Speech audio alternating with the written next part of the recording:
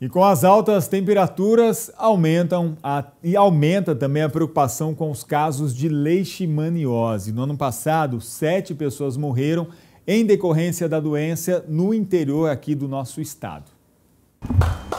A visita à casa de Lívia é preventiva. Primeiro, os agentes da equipe de controle de vetores e zoonoses de Araçatuba, no interior paulista, fazem a vistoria no local.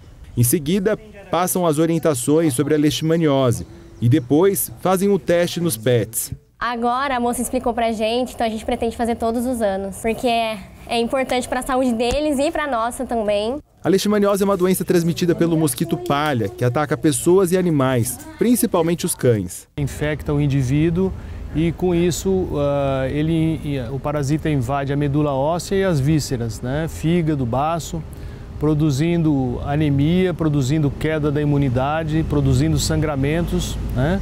E, esse quadro, se não for tratado no decorrer do tempo, pode levar o indivíduo à morte. Segundo o levantamento do Centro de Vigilância Epidemiológica do Estado de São Paulo, oito pessoas morreram em decorrência da doença em 2023.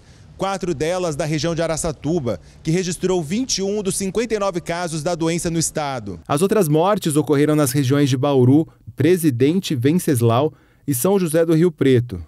Áreas onde o calor é intenso, o que colabora para a proliferação do inseto transmissor, que também gosta de sujeira, em especial de lixo orgânico. Por isso, a importância de manter limpos quintais, terrenos e praças. Qualquer lugar onde possa ter acúmulo de matéria orgânica, fezes, frutos, é, folhas em decomposição, tudo isso, compostagem inadequada, tudo isso pode ser propício para ter um abrigo aí, um criadouro para o mosquito palha. Lembrando que ele é muito pequeno, então a gente não consegue ver larva dele a olho nu. Caso seja picado pelo mosquito, o exame para identificar a doença é simples e o tratamento, segundo o médico, rápido. O tratamento é a base de medicamentos fornecida pelo Ministério da Saúde, né, um tratamento gratuito, em torno de uma semana o indivíduo tem uma melhora bastante importante, necessitando depois de seguimento médico para ver se o tratamento realmente foi eficiente. Mas o melhor é prevenir. No caso dos cães, existe uma vacina que pode ajudar na proteção, além de coleiras repelentes.